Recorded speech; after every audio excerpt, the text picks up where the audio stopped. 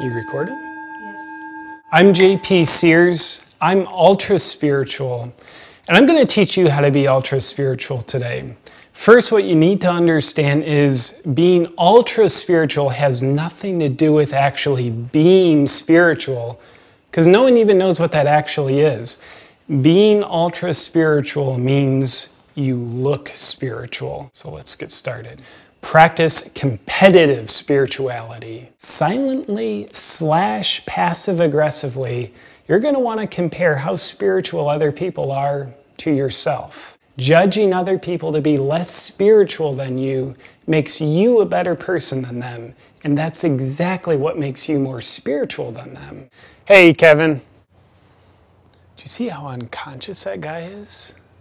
Jerk. Claim to be using your intuition when you're actually thinking about things. In fact, you're going to want to announce this to people every chance you get because false intuition isn't true intuition until you get other people to believe that your false claims are actually true. Hey, Deanna, my intuition just told me to give you a call.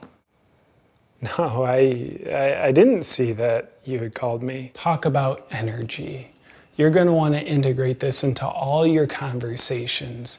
It'll seem meaningless to other people because it is, but don't let that stop you though. I love energy. I love chi. I love prana. I love life force. I love auras. I love chakras. It's all vibration. Rebel against dogmatic religious terminology by dogmatically using spiritual terminology. You'll want to keep your eyes closed extra tight on this one so that you don't see that you're actually still subscribed to the exact same belief system that you're rebelling against. Because now you're expressing the same concepts just with new words. Jesus loves you. The universe supports you. I'll pray for you. I'll send you white light. God will provide for you. The universe is abundant. It's all about getting into heaven. It's all about getting back to oneness. Hallelujah. Om. Say the word namaste any chance you get.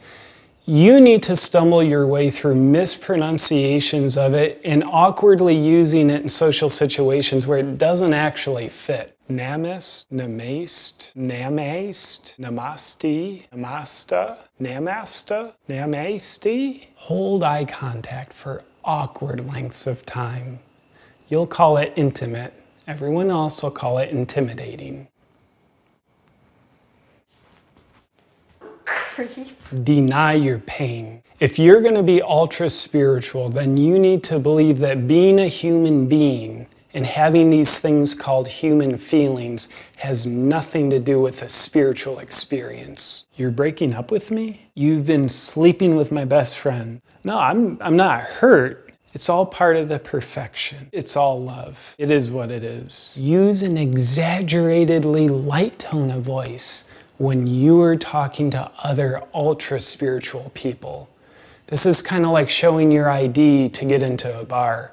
It proves that you belong. It's all love. You just gotta follow your bliss. Do copious amounts of yoga, even though you have no idea why aggressively stretching your body and wearing $100 Lululemon pants relates to your spirituality. Mm, this one's good. I, I feel this one in my spirit. Ah, that's effective. It makes my hamstrings feel like they're tearing, which is helpful because I think um, hamstring is the French word for kundalini, which means this is making my kundalini more muscular. Reclassify all the ways you're irresponsible under the new heading I'm a free spirit. Aggressively defend your position statement like you're an angel defending getting its wings cut off. A job?